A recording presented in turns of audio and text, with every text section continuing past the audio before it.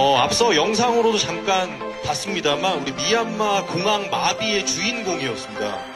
산다라박 씨. 네.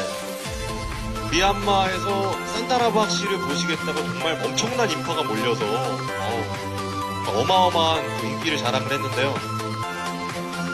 또 이번 프로그램을 통해서 본인 또 사랑스러운 모습, 음악적인 면모, 여러 가지 매력을 선보일 예정이라고 합니다. 아, 예. 아, 예, 그렇죠, 그렇죠. 해야죠.